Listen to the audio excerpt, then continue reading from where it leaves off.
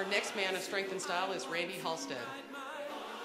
Randy's best qualities, according to Randy, are his red hair, blue eyes, and the fact that he was raised in South Dakota.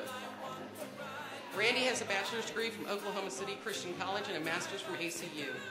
He spent 11 years in congregational ministry and eight years as a financial administrator for nonprofit agencies. For the past three years, he's been the executive director of Abilene Hope Haven. Randy wants us to remember him as a man who cares about folks who live in poverty, and he wants to continue to make a difference in the lives of people who struggle.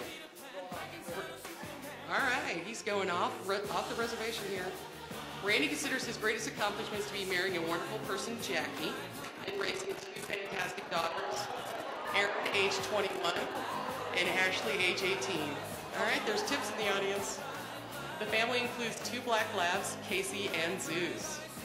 Randy lists his hobbies as cycling, soccer referee, fantasy football, and short mission trips. And we know that he'll be donating all that cash. Every August, he loves riding the Hotter'N Hell 100 mile bike ride in Wichita Falls, along with 10,000 other crazy people. A great pair of cords from American Living, like those Randy is wearing, has a spot in every well-dressed guy's wardrobe. Yes, ladies and gentlemen, cords are back.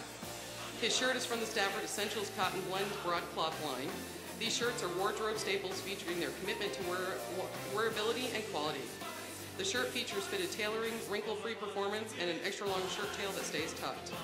His look is topped off with a wool tweed Westcott vest from American Living. This vest has a classic style that looks great with everything from jeans to dress pants. Randy hopes someday to see Tour de France in person, to live in Portland, Oregon, and to coach his grandkids' soccer teams. About his favorite saying, Randy told us, I could tell you, but then I'd have to shoot you. We don't know if that is his favorite saying or if he really just can't tell us. Thanks, Randy.